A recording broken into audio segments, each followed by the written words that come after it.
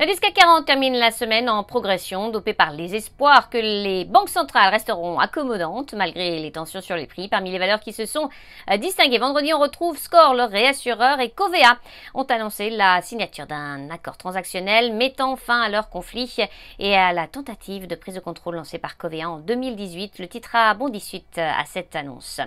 On passe à Isilor Luxotica. Le lunetier franco-italien a confirmé que l'autorité de la concurrence turque a autorisé le projet d'acquisition de Grand Vision. Avec cette décision de l'autorité de la concurrence turque, toutes les autorisations réglementaires ont été obtenues.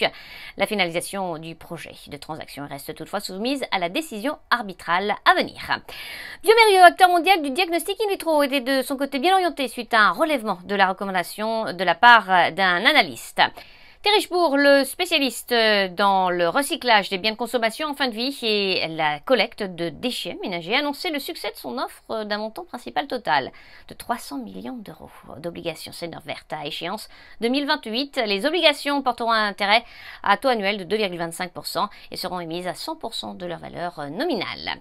Et puis EDF, euh, l'électricien, a bénéficié d'une note d'analyste positive. Enfin, GTT, le spécialiste des membranes cryogéniques pour le transport du gaz naturel liquéfié, a reçu une commande de la part de son partenaire, le chantier naval coréen Samsung Heavy Industries, pour la conception des cuves de deux nouveaux méthaniers pour le compte d'un armateur à New York. Sabrina Kelguzi pour Trading Central. Je vous souhaite une très belle fin de journée à tous. À demain.